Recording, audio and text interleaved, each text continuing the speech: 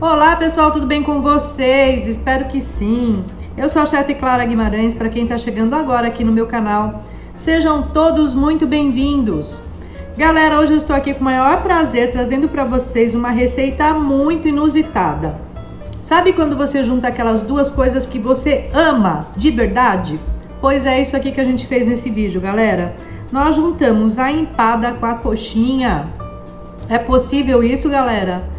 É, e é muito possível mesmo, viu? Porque nós fizemos aqui, o resultado foi maravilhoso, lindo, delicioso.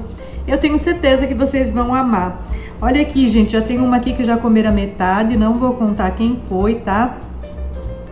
E se você ainda não for inscrito aqui no nosso canal, aproveita já se inscreve aí. Se você já é inscrito, Aproveita também e já comenta algum vídeo que você gostaria de ver de misturas assim no canal, coisas que você já ouviu falar e tem uma curiosidade que a gente vai buscar e vai trazer para vocês aqui, tá bom, galera? Então, bora lá pro vídeo?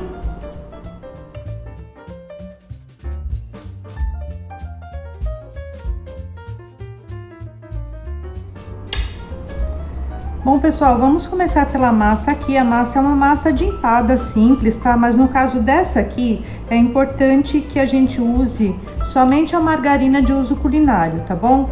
Você evita de usar a banha de porco ou a gordura vegetal, porque elas acabam deixando a massa um pouco mais frágil, mais quebradiça, e nesse caso aqui não pode ser assim, tá bom, pessoal? Tem que ser uma massa, aquela massa podre que desmancha na boca, mas que não quebre tanto na hora que a gente pega, tá bom? Então, pessoal, aqui eu tenho 200 gramas de margarina de uso culinário, da sua preferência, mas tem que ser margarina de uso culinário, não serve margarina doméstica meia xícara de chá de leite, ou seja, 100 ml. E aqui eu tenho duas colherinhas de chá de açúcar com duas colherinhas de chá de sal, tá? Então tem sal e açúcar aqui. E aí, pessoal, agora nós vamos fazer assim, a gente vai colocar a mão aqui na massa, tá? E vamos agregando a farinha aos poucos com a ponta dos dedos. Então, toda vez que vocês forem fazer massa podre, gente, massa de empada ou de torta, essas massas que pega muita gordura, você nunca deve colocar a mão inteira, só a pontinha dos dedos para não passar muito calor para a massa, tá? Então, ó, você vem, começa a quebrar aqui essa margarina, eu tirei tem uns 10 minutos da geladeira então, ela ainda está gelada, mas não aquele gelado duro demais que você não consegue nem quebrar, tá? Então, você tira uns 10 minutos antes da geladeira e aí você já vai começar a agregar a farinha. A farinha, gente, é até soltar das mãos, tá? Essa receita, ela pega em média, em média, tá? 400 gramas de farinha. Tudo depende aí muito da, da margarina que você tá trabalhando, tá?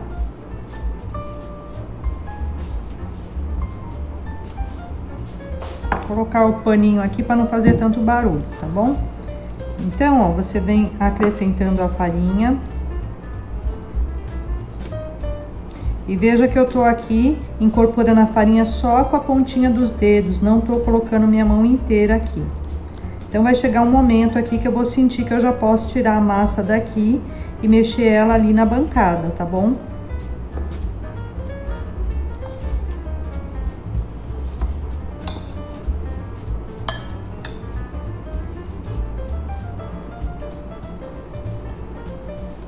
Então, pessoal, olha só, vai chegar uma hora que essa massa começa a desprender da sua tigela, tá vendo?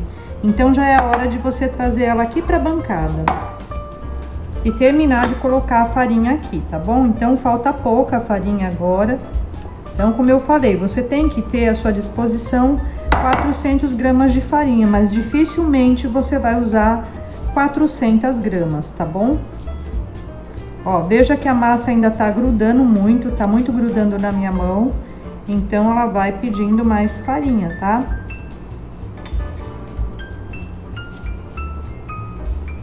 Então, ó, não é para solvar a massa, é para incorporar a farinha na massa, ó. Nada de fazer aquele movimento de solvar pão, viu? Massa podre não pode desenvolver glúten. Então, pode observar que agora a massa já está começando a soltar da minha mão. Pronto, pessoal, olha só. A massa aqui, ó, ela já deu ponto, ó. Então, observem que ela não gruda nem na bancada e nem na minha mão, ó. Ó. A massa tá prontinha aqui. Porém, quando eu toco nela, eu sinto muita umidade na massa ainda, tá? Então, tomem cuidado para não passar do ponto da farinha, porque se você continuar colocando farinha a partir desse momento aqui que ela já soltou da mão, vai chegar na hora que você for abrir, ela vai ficar esticando, ela vai perder aquele aspecto de é, massa que desmancha na boca, vai ficar uma massa dura, pesada, tá bom? E vai ficar rachando também. Na hora que você for modelar, você não vai conseguir modelar porque ela vai ficar rachando muito, vai dar um monte de problemas. Então a massa aqui tá prontíssima, tá? Eu não vou colocar mais nadinha de farinha aqui. Então agora eu vou colocar dentro de um saquinho e essa massa vai ficar na geladeira descansando por pelo menos uma hora, tá? É, o ideal é que fique duas, três horas. Quanto mais ficar, melhor é para você trabalhar depois. Então você pode também fazer essa massa de véspera, tá bom? Mas uma hora você já consegue trabalhar bem ela, tá bom? Achata ela bem assim, ó, para ela gelar bem, põe num saquinho e coloca lá na geladeira, então, por pelo menos, no mínimo, uma hora, tá? Bom, pessoal, então a minha massa já tá, olha, bem firminha, porque ela ficou lá uma hora na geladeira, tá bom? Então, agora nós vamos abrir e começar a montagem. Aqui vocês vão ver que não é difícil, é bem facinho. Então, olha, eu vou usar um pouquinho de farinha de trigo para abrir aqui, mas é pouquinha, tá? Não precisa muita, porque a massa já tá, ó, bem firminha mesmo. Então ela vai estar tá ótima para trabalhar agora, tá bom? Um pouquinho em cima, um pouquinho embaixo. Então vocês vão ver que a, a massa vai abrir muito, com muita facilidade agora. Porque ela descansou, né? Firmou a, a margarina aqui.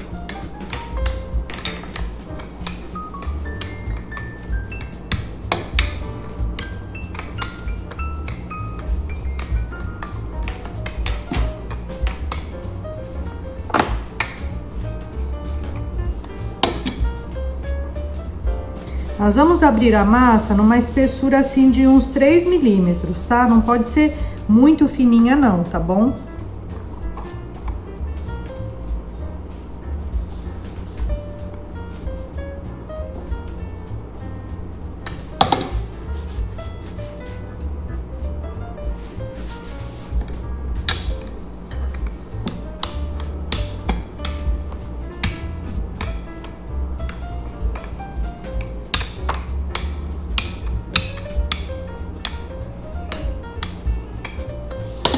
Pronto, então a massa tá aberta aqui, gente. O melhor jeito de fazer essa, essa coxinha com empadinha é assim com cortador, tá? Aliás, quando eu faço empada também eu faço dessa forma.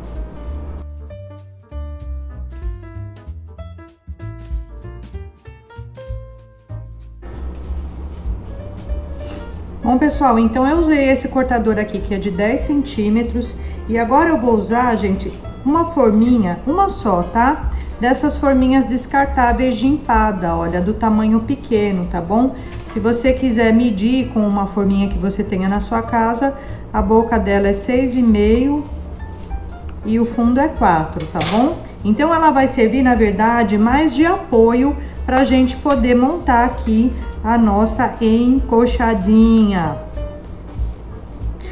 Bom, então daí, pessoal, depois que fez isso aqui, nós vamos colocar primeiro, isso aqui, gente, é uma batata que eu amassei e coloquei sal e margarina, não é purê, porque não tem leite, tá? Eu só amassei a batata, ao todo aqui eu tenho meio quilo de batata.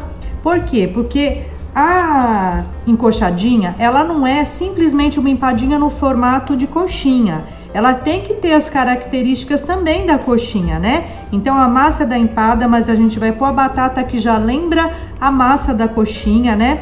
O recheio não é um recheio de empada, porque o recheio de empada, gente, ele é um recheio cremoso, né? E no caso aqui a cremosidade a gente tá dando com a batata, olha que diferente, né? Então coloquei, ó, um fundinho de batata, então a pessoa vai comer, ela vai sentir já essa batata que lembra o sabor da coxinha. Depois eu vou colocar um pouco de requeijão. Olha se vai ficar ruim isso, gente. Esse aqui é requeijão aquele tipo catupiry, né? E o frango que vai entrar aqui, ele já não é nem o frango da coxinha, porque o frango da coxinha é um pouco mais enxuto, e nem o da empadinha, porque da empadinha é misturado num creme, né, gente? Ele, eu fiz o frango, ó, igual da coxinha, só que eu deixei mais molhadinho. Então, pessoal, quando você for refogar o seu frango, você vai deixar ele com um pouco mais de caldo, entendeu?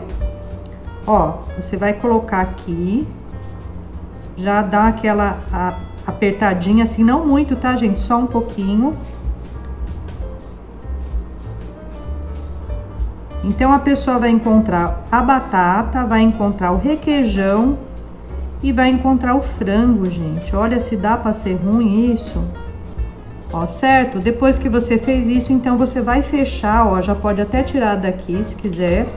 E aí você vai fechar como fecha uma coxinha, tá bom? Ó, eu fecho coxinha assim, ó. Aperta, então, como a massa descansou, vai estar tá bem fácil de fazer isso, ó. Pronto, ó, deu o formato já de coxinha aqui, ó.